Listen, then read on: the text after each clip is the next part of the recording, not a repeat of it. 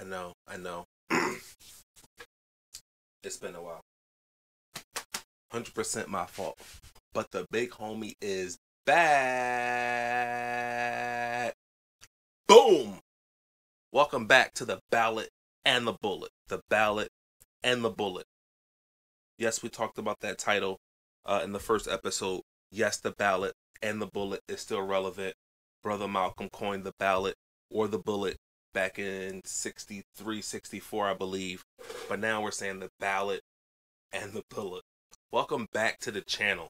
Um, if you haven't already, please do subscribe. You know, tell your friends, tell your family.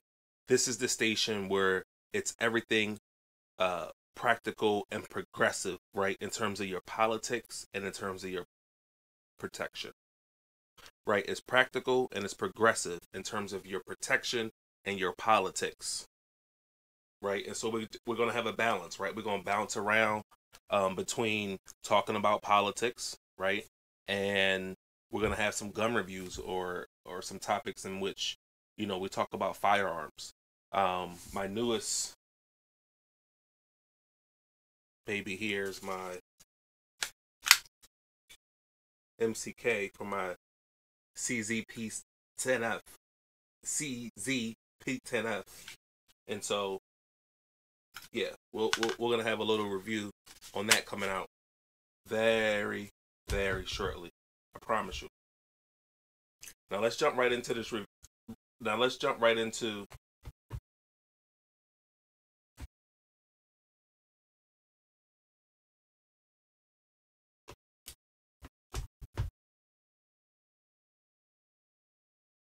finally. So you saw the topic, right? What do what's the black perspective on the war in Ukraine? The war on Ukraine. What do black people think about the war in Ukraine? Is there a black perspective or is there always a uniform or a singular American perspective? No, right? The answer is absolutely because of the, the, the special history that black folks have in terms of the relationship we have with the United States of America. We absolutely have a unique perspective. Um, and so again, let's let's just jump this off with the obvious. The black voice is not monolithic, right? And in no way am I saying I'm speaking for all black people, right? We know the black voice isn't monolithic. Blacks exist on a spectrum, a political spectrum, just like everyone else, right? Even though, you know, we tend to be, you know, center left in, in, in the Democratic Party, the party of uh, stagnation, um, again, I don't presume to speak for all black people, right? But what I what I will tell you is, if you speak to enough black people, um, what you'll hear is these common trends um, around around the war. So let's jump right into it. Again, we're gonna come at this from two perspectives, right? I mean, there's many angles that we can approach this war, um, but we're gonna look at it from two perspectives primarily. The first one is intervention, right? In general, right? And where do we see intervention being appropriate? And then the second, and where we're going to close is in talking about humanitarian crises um, and refugee crises um, across the globe um, in Ukraine, but across the globe um, also. So let's jump into intervention, right?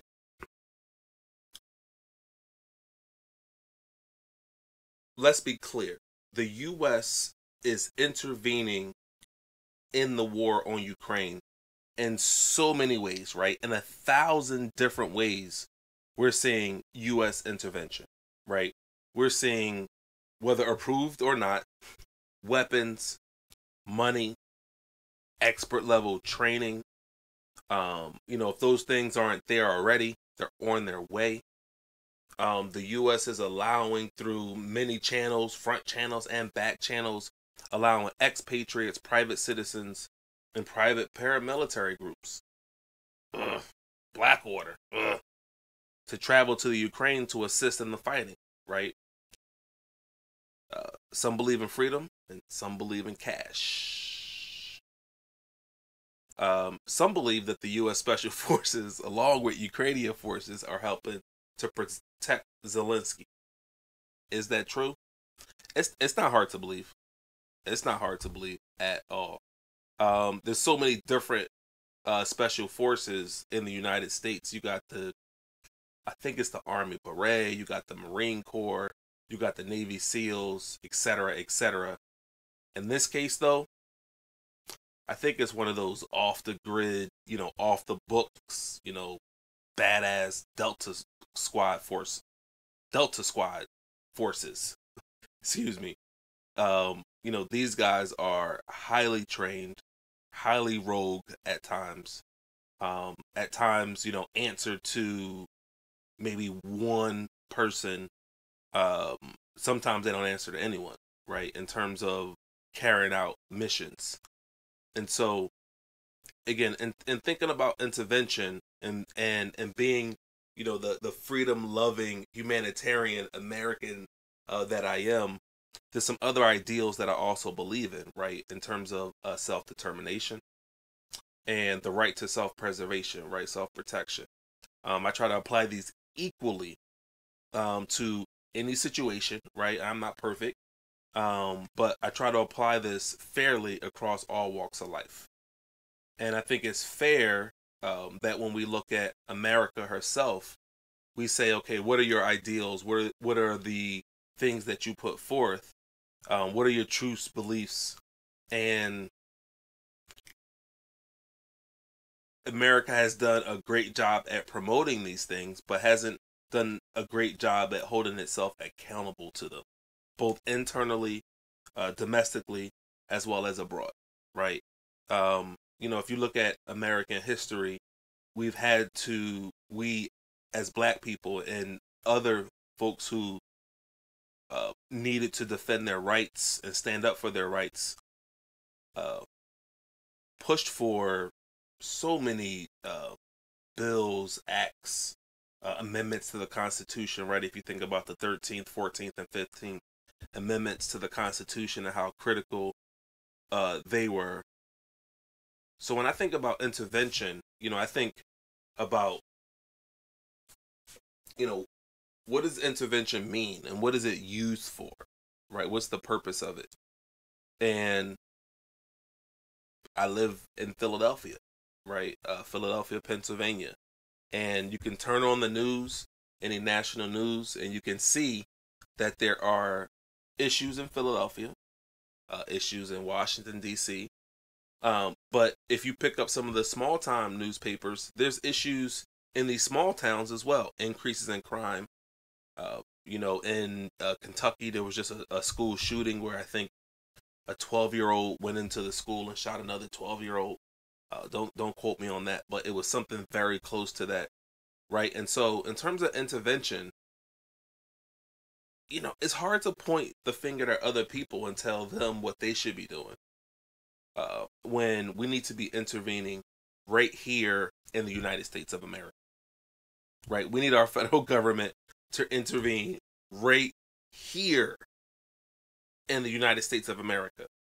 Right here in Los Angeles, right here in Chicago, right here in New Orleans, right here in Baton Rouge, right here in uh, Baltimore, uh, right here in Philadelphia. Right?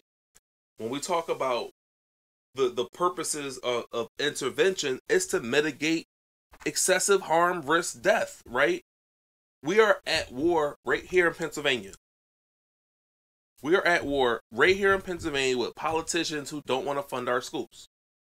We are at war with an industrial complex, right, that pours millions into prisons and policing policies instead of parks, piercing the wealth gap, maybe.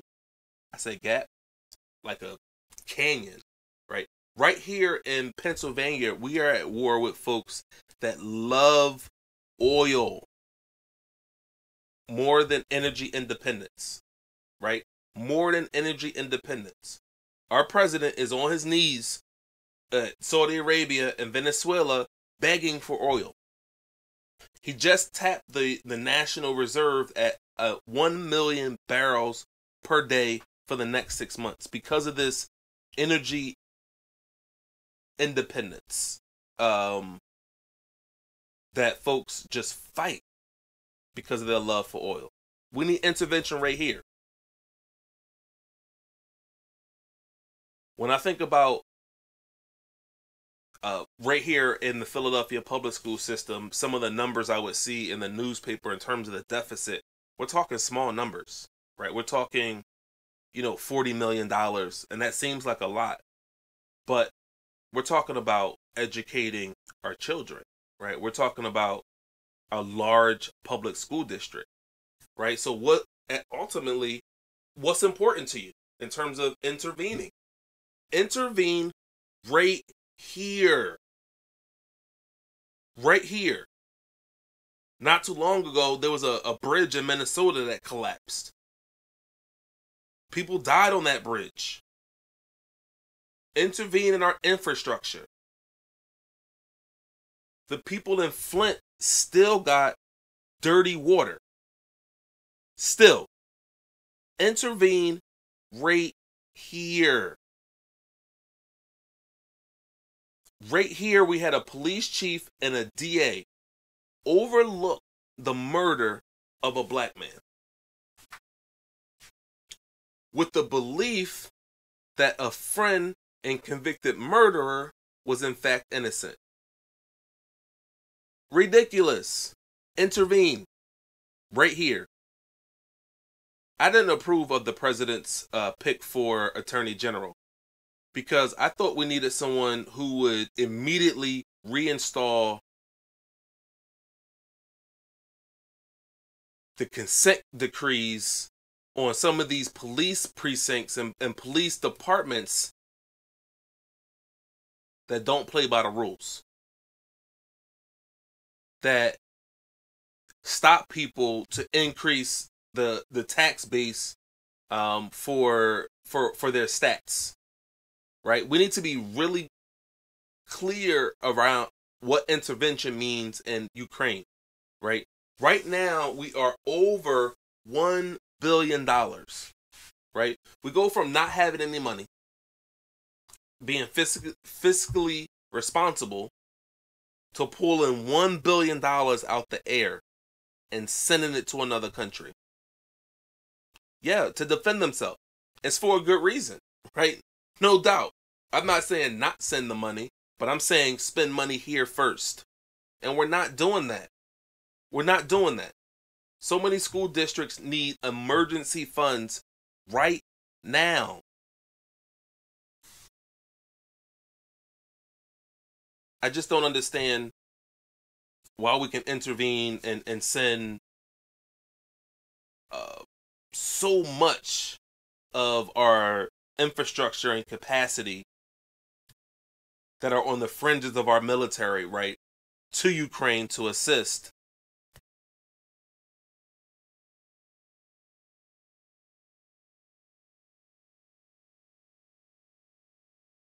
But we're having a hard time protecting our citizens. We're having a hard time educating our citizens. We're having a hard time keeping our citizens healthy And we're having a difficult time getting off of this crack addiction to oil.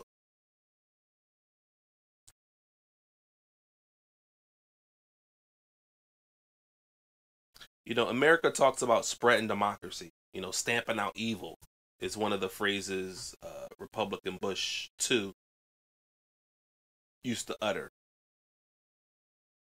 But what America does, and primarily the Republicans, is it vomits on democracy. She assists in overthrowing democratically elected governments. Haiti, Iran, the DR.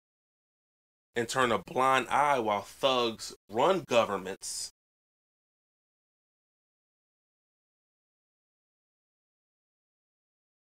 Saudi Arabia, right? Saudi Arabia, right? That's the the the top thuggest country. That is the top thuggest country in the world. Saudi Arabia. They do whatever the hell they want, right? They murdered Khashoggi, Khashoggi, whatever the guy's name was. This guy right here. They murdered him Do you understand that? And they got away with it. They got away with it. No one no one could do anything. So what does intervention look like from a black perspective? It looks like that when we look domestically, we need more intervention, right? Domestically, we need more intervention. That's what it, it looks like from a black perspective, right? When we look internationally, what we look at is we need to see some consistency with the support of democratic forces throughout the world, but particularly on the African continent. Rwanda, zero intervention, zero. The Sudan,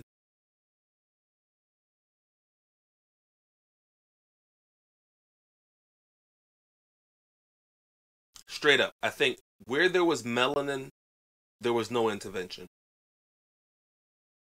Right? Like th- that's that's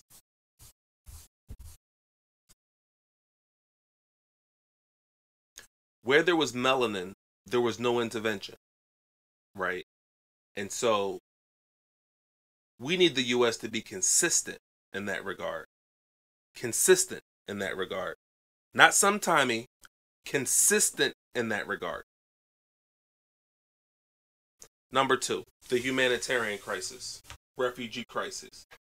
This is another area in which we're, t- we're looking at the um, American narrative, right? And we're saying, where is the consistency?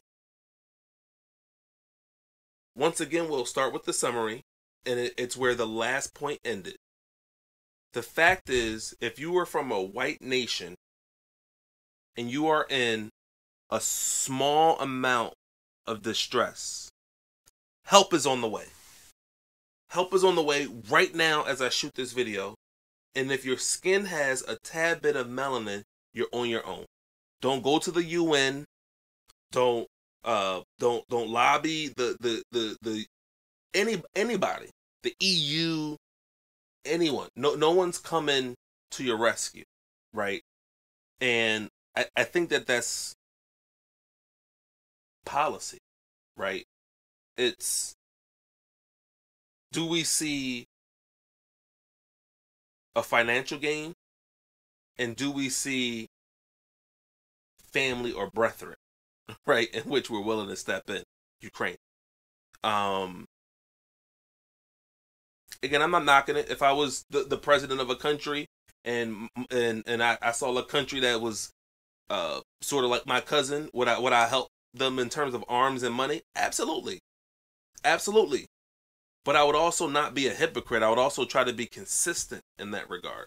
Consistent. Right? So when we talk about the humanitarian crises or crisis, you know, I we, we can go back, you know, 20 years, 30 years, 50 years. But if we look at the most recent humanitarian crisis, crisis, the most recent, right? Not the not the one as a result of of Russia's devastation in in the Ukraine, uh, assault on Ukraine, war in Ukraine, the bludgeoning and flattening of Ukraine, right? If we go back just a little bit, the most recent refugee crisis was Syria, right? This was a region and a country that was decimated and flattened by Syrian forces, supported by Russian forces. Right? It was a proxy war. The Russians and the, and the Syrians ultimately won that war. But millions fled the country. Millions. I don't recall the U.S. assisting and setting up refugee camps in neighboring countries and funding operations with U.S. tax dollars on the scale that we're seeing today in Poland. Correct me if I'm wrong. If I'm wrong, put it in the comments. Because I don't think we saw the same level of response.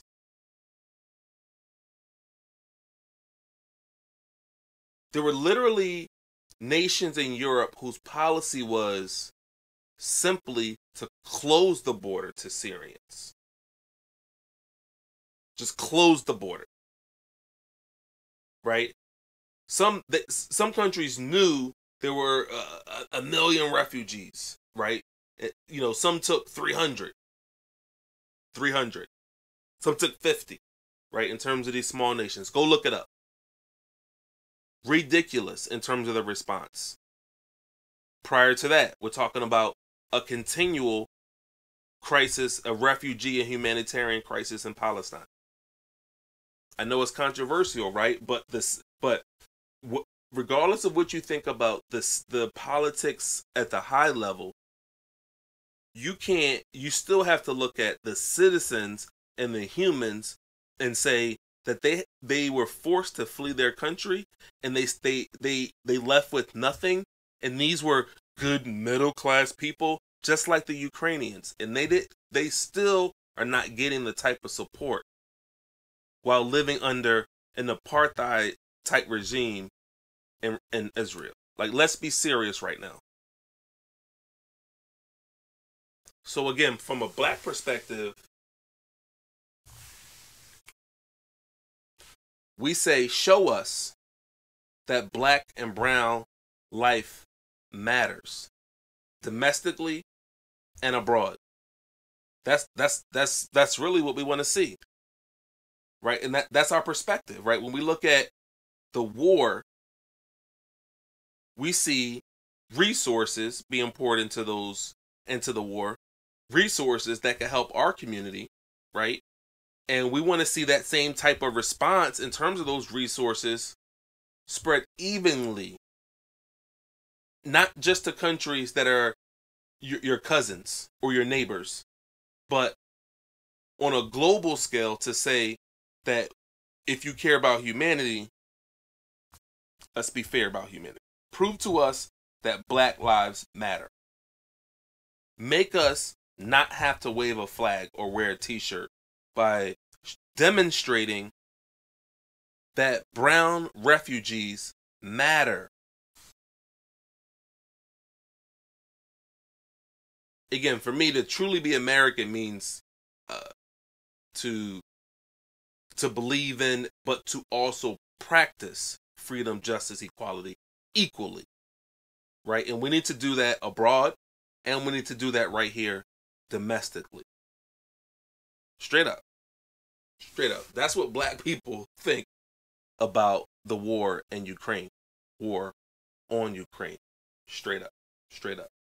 So again, you know, I, I was hoping to keep it brief. Um but in closing I want to say, you know, power to all the non-racist people in the Ukraine. Um and maybe just maybe some some forces um some small you know badass group um, of assassins from Israel um, can make a visit to Russia and help end this war. Y'all know what I mean. The ballot and the bullet. It's your boy. The future's black. Holla at your boy. Beautiful lies. Don't break my heart. Tell me beautiful lies.